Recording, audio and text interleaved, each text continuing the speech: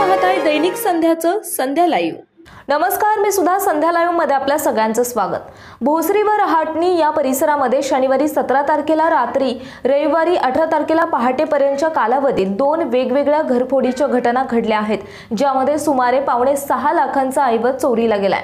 यावरून वाकड आणि भोसरी पोलीस ठाण्यामध्ये गुन्हा दाखल करण्यात आलाय. रहाटणे येथील शिवराजनगर परिसरामध्ये शनिवारी सतरा तारखेला सायंकाळी सहा ते पावणे आठ या कालावधीत घरफोडी झाली. चोरट्यांनी डल्ला मारून दोन लाख अकरा हजार पाचशे रुपयांचा ऐवज चोरून नेला. किरण विजयकुमार शिंदे वय छत्तीस राहणार शिवराजनगर रहाटणी यांनी या प्रकरणी वाकड पोलीस ठाण्यात फिर्याद दिली. त्यानुसार अज्ञात चोरट्याच्या विरोधात गुन्हा दाखल करण्यात आला आहे. पोलिसांनी दिलेल्या माहितीनुसार फिर्यादी शनिवारी सायंकाळी सहा वाजता त्यांच्या पत्नीसह मुलाला घेण्यासाठी डांगे चौक येथे गेले होते. ते मुलाला घेऊन रात्री पावणे आठ वाजता परत आले. त्यावेळी त्यांच्या घरात चोरी झाल्याचे उघडकीस आले. अवघ्या पावणे दोन तासात चोरट्यांनी दरवाजाचा कडी कोयंडा तोडून घरात प्रवेश केला. यात हॉलमधील लाकडी कपाटातून दोन लाख दहा हजारांचे सोन्याचे दागिने एक हजार पाचशे रुपये रोख रक्कम असा एकूण दोन लाख अकरा हजार पाचशे रुपयांचा ऐवज चोरून नेला.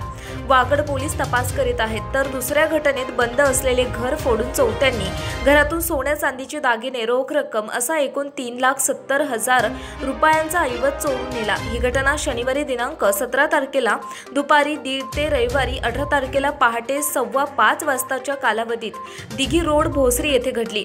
कुंडलिक बबनराव पिंपरकर वय चोपन्न राहणार दिघी रोड भोसरी यांनी या प्रकरणी भोसरी पोलीस ठाण्यात फिर्याद दिली आहे. त्यानुसार अज्ञात चौट्यांच्या विरोधात गुन्हा दाखल करण्यात आला आहे. Bureau report Sandhya live.